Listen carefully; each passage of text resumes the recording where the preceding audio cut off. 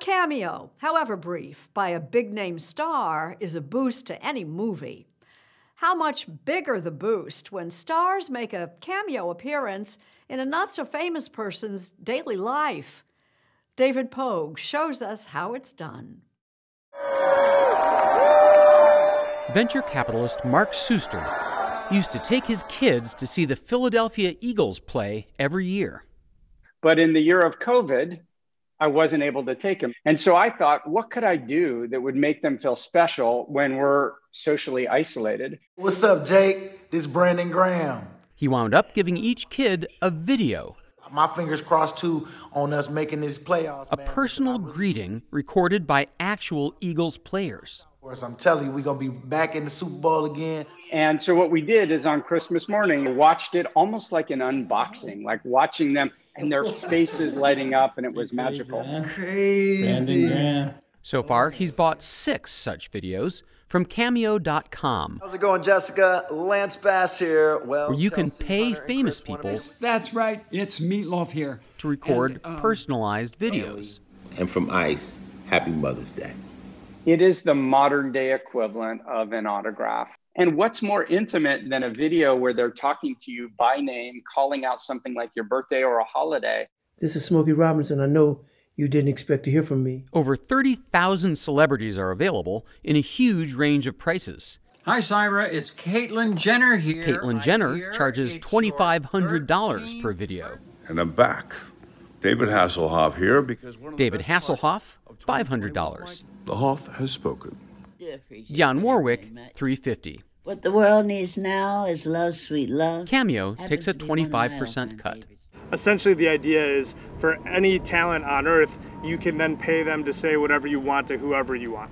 Steven Galanis is the CEO and co-founder of Cameo. This is Melissa Etheridge. The company's popularity surged during the pandemic, Man, this your man, Steve Harvey. Listen, man. and more celebrities Uh, signed up. urge you turn it- Every single athlete, actor, celebrity on earth found themselves out of jobs, out of work. So Cameo went from being uh, funny money or from being an insignificant source of people's income to all of a sudden becoming the primary source or the sole source in some cases. Hi, this is Gilbert Gottfried. Cameo has become the primary source of income for comedian Gilbert Gottfried. Hey, you know who I And in am? case you don't know him, Gilbert Gottfried.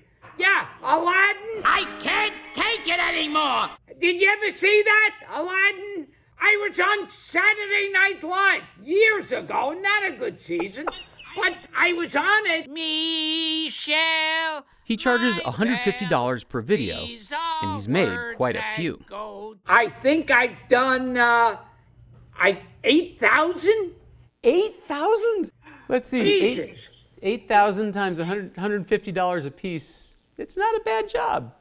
I should have my own island somewhere. Why the hell am I wasting time sitting here talking to you? For singer and actress Keri Hilson, the money isn't the main attraction. When the pandemic hit and I was sitting at home twiddling my thumbs, couldn't go anywhere, couldn't perform, that's when it became extra attractive to me So you gotta take the good with the bad. Happy to reach out to my fans, to engage with them in a new way. My name is Keri. She I'm gets so every very conceivable fly. request. Oh my, it's a little bit scary. Uh, can you give some encouraging words to my 13 year old? I want you to keep pushing. Or my husband has the biggest crush on you. Can you please just uh, send him some caramel kisses? What sorts of things would you consider not doable? Uh, well, there I get some boyfriend requests. Um, Hi, Lisa. It's Kenny G here in my studio. Grammy winner Kenny G has made over 600 cameo videos at $295 apiece. He includes a soprano sax solo in every video. What percent of them would you say are birthday greetings? Oh gosh, I'd say probably 60 to 70%. Really? So I got happy birthday down, bro. He'll deliver your greeting in any language, and if he doesn't know the song you're requesting, he'll learn it.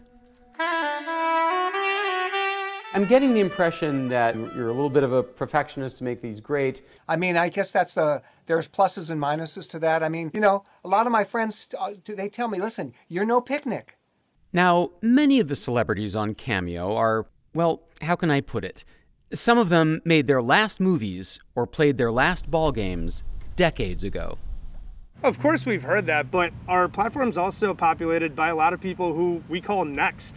Uh, TikTokers, emerging stars, people who are on shows that will blow up in Netflix in you know the next two to three months. Have you ever had a, a talent person have reservations because of this thing about I'm shilling myself, I'm prostituting myself, I'm selling myself? I think we used to see that early. When we started the business, direct to fan monetization was uh, seen as very taboo. But these days, sites like YouTube and Instagram are making a lot more people famous, just not rich and famous. They're selling merch, they're doing live meet and greets, they're going to Comic Cons. Direct to fan monetization is the future. Cameo has competition, but it does have a healthy head start. It says it's sold over a million videos so far. I'd like to wish all my friends at CBS Sunday Morning a very happy 42nd anniversary. And yes, we bought a Kenny G cameo to commemorate our own celebration.